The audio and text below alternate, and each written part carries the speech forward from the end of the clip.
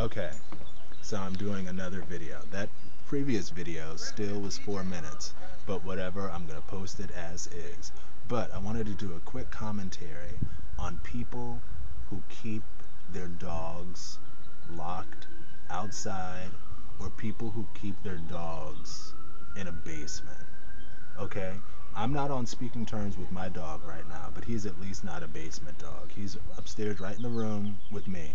But um to me it's like why do you even have a dog if all you're going to do is just keep them outside to be angry you know or keep them in a basement to be angry? What, what what's the point you know?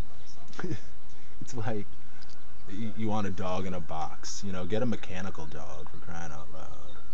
But um you know i'm not telling people what to do. I'm just saying from my perspective it just doesn't make a lot of sense you know? And i passed one of these dogs of course a pit bull who they have, and he's outside, and every time anybody walks by, he barks, he goes crazy, blah blah blah blah blah, and it's just like, what's the point? You know, why why? I mean, is is he getting inside time to to be petted and all of that stuff? I mean, I get it. Okay, it's a big dog, so you don't want him messing up the furniture and stuff like that. But then, you know, maybe you need to reevaluate the size of the dog that you get. But it's just what I think. You know, nothing funny about it.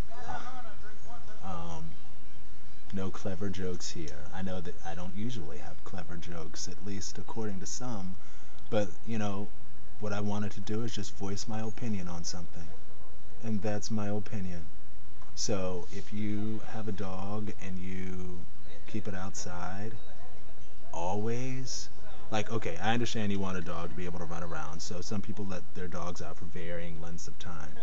I don't even want to get started on what happened one time when i let my dog outside for like 10 minutes you know? I get one of my i'm whispering this to you because it's a secret between you and me you know?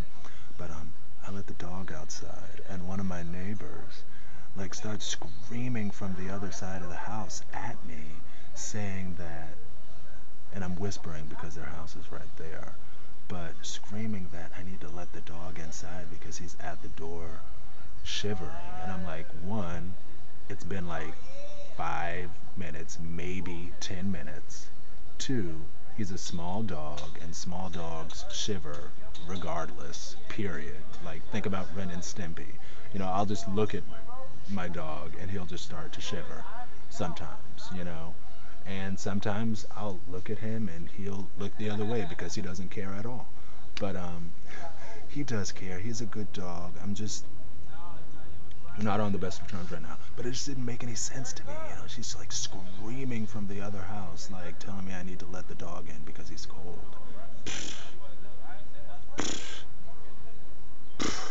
Anyway, that's enough attitude for one day. Okay. So this was going to be a quick video, but this is probably like four or five minutes already.